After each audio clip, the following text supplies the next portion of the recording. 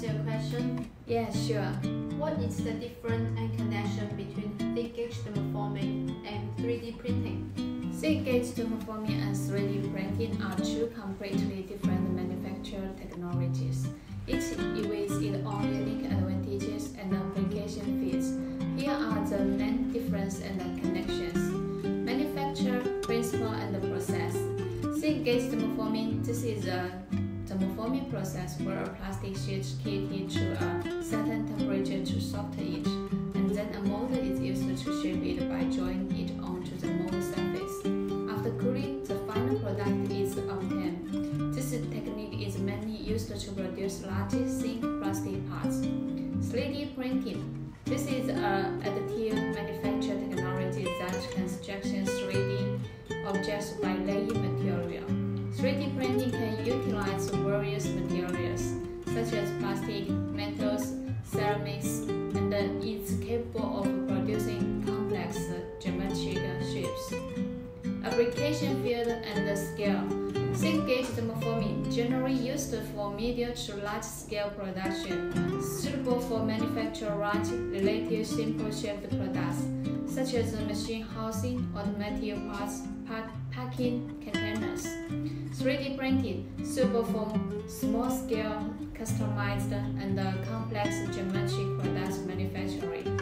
It is commonly used for prototyping personalized products, complex components. Cost and time. Thin gauge thermoforming higher mold cost but low per unit product cost compared to 3D printing. 3D printing almost no mold cost, but higher material and production for small scale and uh, customized production. Geometric, complex, and precision. Gauge thermoforming, limited by the mold, shapes tend to the simple and no, not suitable for manufacturing complex geometric structures. 3D printing, capable of printing extremely complex geometric shapes with high precise connections.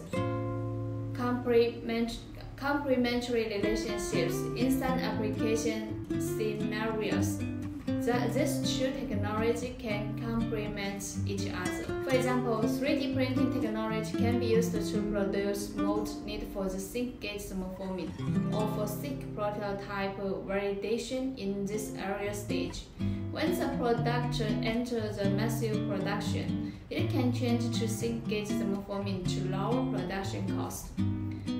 Material commonality. Both technologies can use plastic materials, so there's a certain commonality in material selection. Integrate application. Inside complex product manufacture, 3D printing and thin gauge thermoforming technologies can be integrated. For instance, 3D printing can be used to manufacture complex components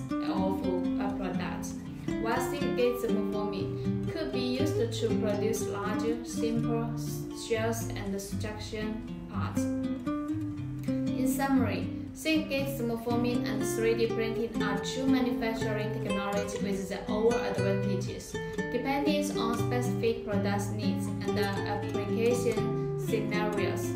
They can be flexible choose and used in combination.